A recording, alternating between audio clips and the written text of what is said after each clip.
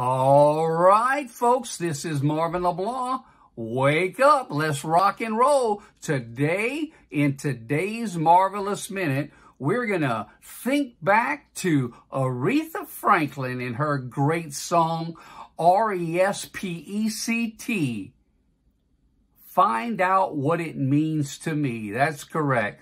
Today, what we're talking about as the number one key in an effective organization is to respect one another. Now, we all have differences of opinion and race, creed, color, everything you can name.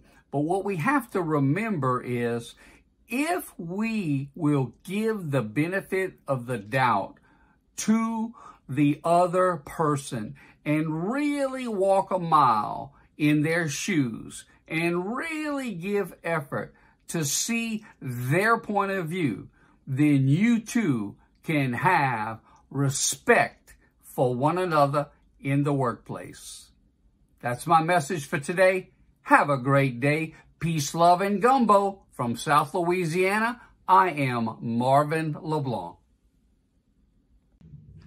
I just want to say thank you. My name is Marvin LeBlanc, and just now you've seen just a snippet of some of the messages and some of the work that I do.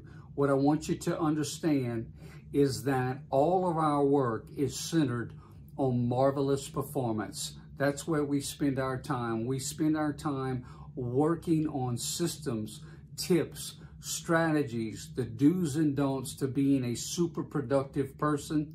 And we also specialize in highly focused sales training.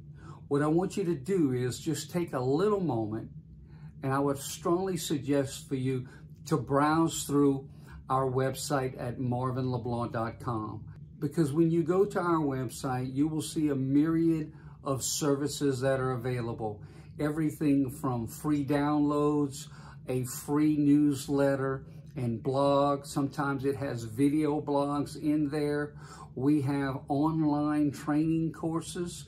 We have group coaching online and on site. We have a speaker services department for your needs in the area of keynote speaking or in the area of workshops and breakaway strategies and sessions. So all I'm asking you to do is take a look around and have a conversation with us. You can certainly reach out to me right here at this website, or you can leave me an email at marvinleblancspeaker at gmail.com. Again, that's marvinleblancspeaker at gmail.com.